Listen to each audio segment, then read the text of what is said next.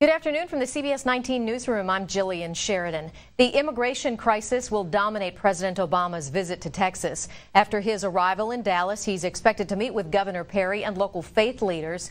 They will discuss solutions to cope with the thousands of children who have crossed the border into the U.S. After that, he's bound for Austin for a fundraising event.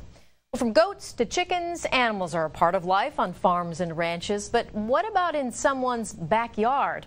An East Texas homeowner is upset about the vast number of animals in her neighbor's yard. But what the law says about it may surprise you. What you need to know tonight.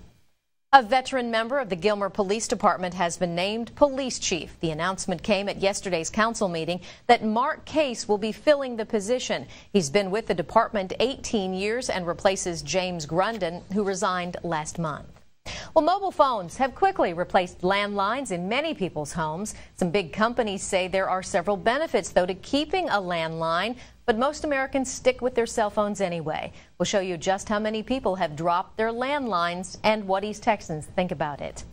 It is your very last chance to snag a part of the Gallery Main Street's latest exhibit in Tyler.